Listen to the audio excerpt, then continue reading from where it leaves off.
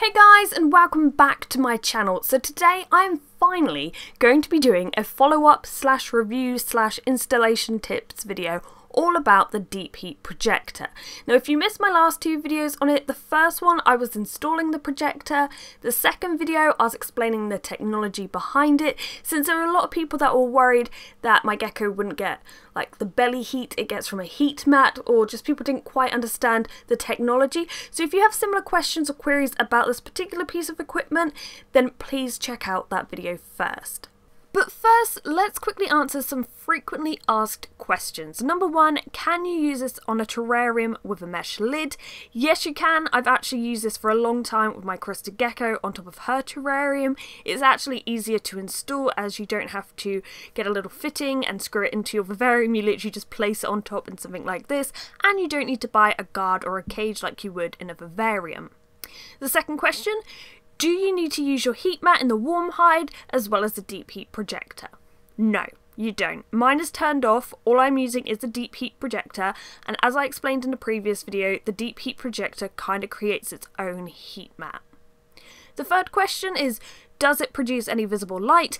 Nope, so when I was filming this, and usually when I film this I have the UV light on, so that's the light you see, but the heater itself, only at full power, it will produce a glow that's under 4 lux, which will not affect your reptile's day-night cycle. However, since it's only set at like 30-32 degrees Celsius, as you can see there's no glow or light at all.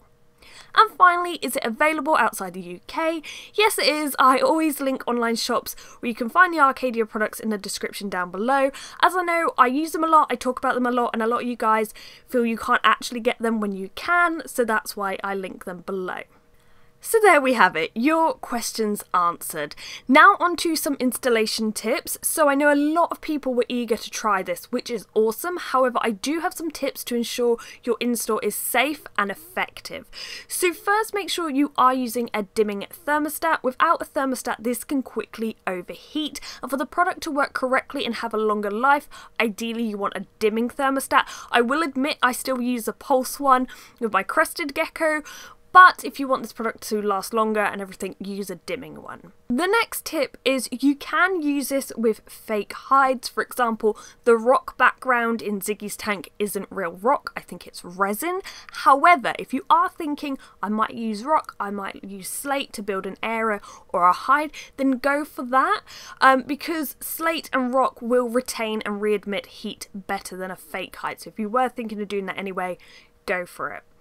Another thing to consider is if you're using a UV light as well as a projector, make sure there's a safe distance between where the gecko will be laying to heat up and the UV light. So for example, I use a shade dweller, so there needs to be about 10 to 12 inches between the UV light and the gecko at basking.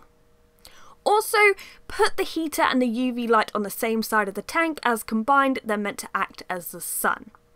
And if you think your gecko or any type of reptile that may use this can reach the heater, use a guard or a cage. If you saw my install video, you can see why we didn't use it.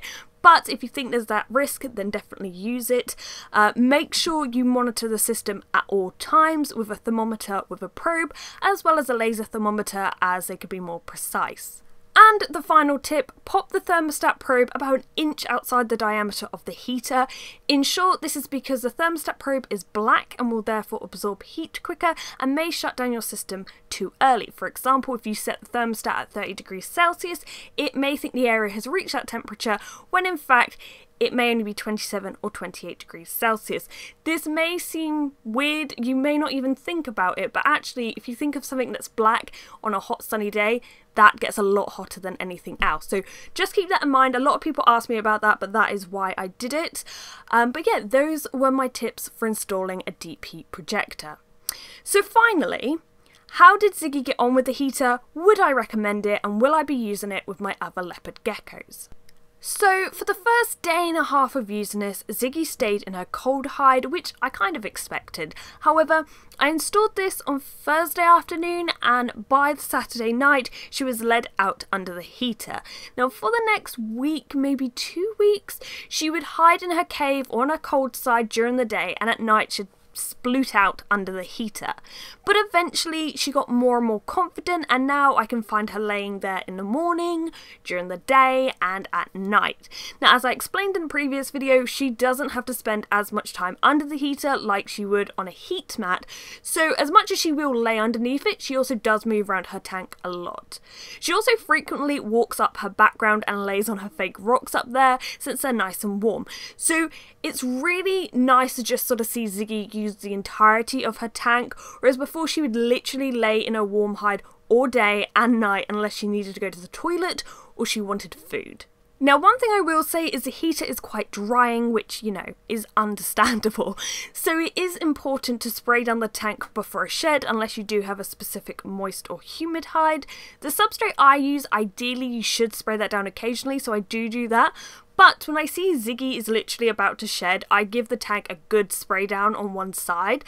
And since using this heater, she has had two extremely successful sheds, like not even a single scale left behind. Now, I know one thing people were concerned about was there wouldn't be much of a temperature gradient, and that for some reason they thought the cold hide wouldn't be cooler than a warm hide. I'm not sure where they got that from, but as you can see, the cold side is cooler, and even deep in the caves it gets cooler. So there's a lot of variation for my gecko to warm up and cool down like it would in the wild. Like the underside of the rocks are also nice and warm, which I imagine radiates down a little bit, but there are still places where she can easily go and cool down, rather than a sort of 6 by 11 inch heated patch on the floor and the rest of the tank being room temperature like you'd get with a heat mat. So I definitely think the deep heat projector produces a far better temperature gradient. So would I recommend this heater and will I be using it with my other geckos? Yes. It's like both of those questions.